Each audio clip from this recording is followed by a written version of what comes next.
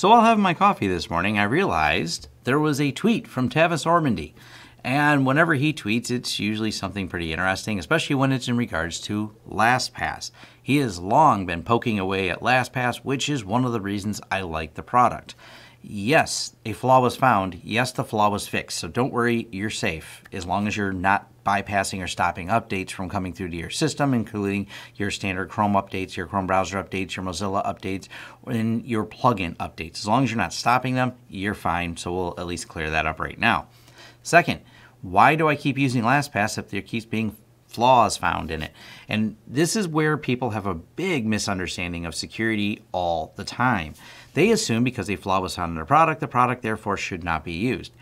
I prefer products, not that have flaws in them, but that have security researchers like Tavis Ormandy constantly poking at the code. LastPass has also gone through pretty extensive code reviews. These are important aspects to any product, whether it be hardware or software. If it has any software on it at all that runs that hardware, you want a strong security research team to do code review, to constantly be checking it for bugs. And you can't just assume because some new product is on the market and has not been hacked that it is secure. It is not secure until it has gone through a lot of testing. And even then, it's whether or not those testers were able to find it. So that is a really subjective thing of just how good these testers are. Tavis is one of the best in the business and works for Google's Project Zero. Now, this particular bypass was a little bit interesting. So LastPass could leak the last used credentials due to a cache not being updated. This is because when you can bypass the tab credential being cache being populated by including the login form in an unexpected way. And the code is actually a little bit interesting. So the concept is that if you go to accounts.google.com and prompted to click the password dot dot dot and fill it in, and then go to example.com, now what they're doing is saying that if you have it filled in, but sitting there, it is now cached because it's in there, but you haven't logged in yet to clear the cache. Then you enter the console over on another one, another site, for example, example.com, and it would be able to see the credentials that were pulled for the previous site. So it's kind of, there is a high severity level to this, but it's also a little bit tricky to do. And he didn't have at the time of recording right now a proof of concept put up. But he just figured out how to automatically compare these until it succeeds. And basically, what this is where it gets a little bit trickier is to take another URL, like any subdomain of the URL you were logged into to help pull those credentials forwards and then iframe them into another piece. And like I said, I'll leave links to all this so you can read through. And uh, this will get updated if Travis po- posts his proof of concept on here.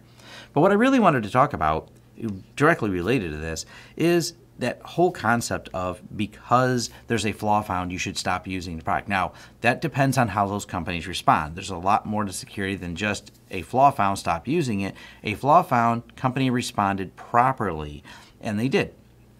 Tavis went through the proper disclosure method of finding the bug, creating a proof of concept. You know, basically you have to prove that this is real. Submitted it to the teams over at LastPass. LastPass looked at it, go, that's valid, and we understand the flaw. We understand how to reproduce it, which is an important concept whenever you're doing bug bounties or bug hunting, is being able to reproduce the bug, not having a one-off of not sure how it happened, because uh, that becomes really hard for the programmers to fix. But that proof of concept was put together. Tavis found it. LastPass took care of it. An update was issued. Now it's all public disclosure and out in the open. This is the cycle of security. This is an important aspect of it. And like I said, just because there's people poking at these products and then finding the flaws. It's all about how these companies respond to the flaws will be the determining factor of whether or not that product stays secure. And any product that doesn't have people poking at it does not mean it's secure. So you could release some software today and make that bold statement, it's never been hacked, never been a flaw found in a product.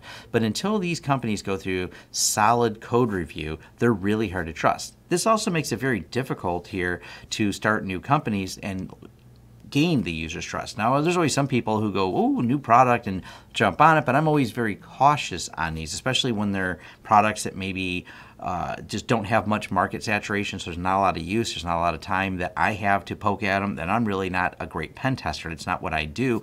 You want the really high end pen testers to go through, do code reviews, and really poke at it You want them to have a whole process over on somewhere like HackerOne where they offer bug bounties to encourage larger groups of people to poke at it.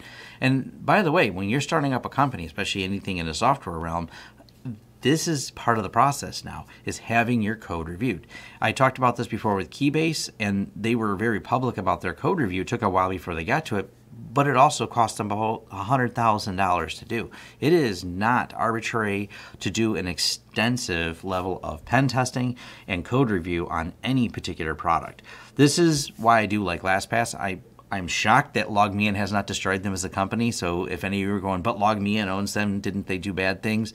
LogMeIn is a um, not a company that has a reputation of doing wonderful products, but LastPass has been one that I think they've left alone. They realize it's a popular product, it has uh, excellent market share, and with people like Tavis poking at it, they seem to keep their security up to date, and they're still as responsive as they've ever been. Now, for those of you who don't know or why you use any password manager, the password manager has to be a zero trust system. LastPass is a zero trust system. For those of you wondering or trying to research that, there's a few other ones out there like uh, Bitwarden's another one people have asked me to review, and I just really haven't had the time to dig into it. But all these are based on zero trust where companies like LastPass do not have your password. That's why all of these attacks are always occurring at the browser level because it is filling in passwords within the browser. So anytime you have something filling in passwords within the browser itself because the decryption is happening on your side at your computer because it's not happening at the LastPass level. That's why these attacks happen there. It's the only place they can happen. They're not attacking LastPass directly. LastPass, by not having your passwords, removes that piece of attack surface by going, we don't have the password.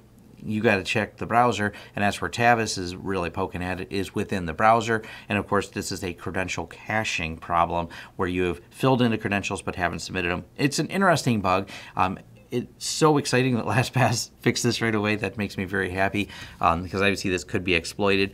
And we don't have any proof that this was or was not exploited in a wild, so we don't know. No websites were found. This is just Tavis working on his own research and going, I wonder if, and that's how a lot of security researchers work. They kind of poke at something and go, I wonder if it would do this. And when they find it, you know, there's a whole aha moment, and then you turn it into a proof of concept and a bug report. So my conclusion is I'm going to still continue using LastPass. I still trust it as a product. I trust it more when I see people in security researchers poking really difficult at it. And it's partly because of their market share. They're one of the biggest password managers out there. So there's a massive amount of, you know, people trying to gain an edge on LastPass. And of course that has interest in security researchers who also want to, you know, get their name in lights by finding a flaw in LastPass.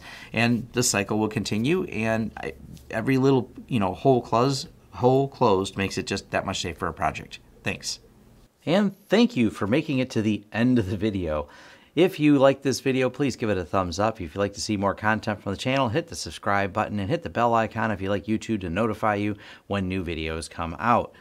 If you'd like to hire us, head over to lawrencesystems.com, fill out our contact page, and let us know what we can help you with and what projects you'd like us to work together on. If you want to carry on the discussion, head over to forums.lawrencesystems.com where we can carry on the discussion about this video, other videos, or other tech topics in general. Even suggestions for new videos, they're accepted right there on our forums, which are free. Also, if you'd like to help the channel out in other ways, head over to our affiliate page. We have a lot of great tech offers for you. And once again, thanks for watching and see you next time.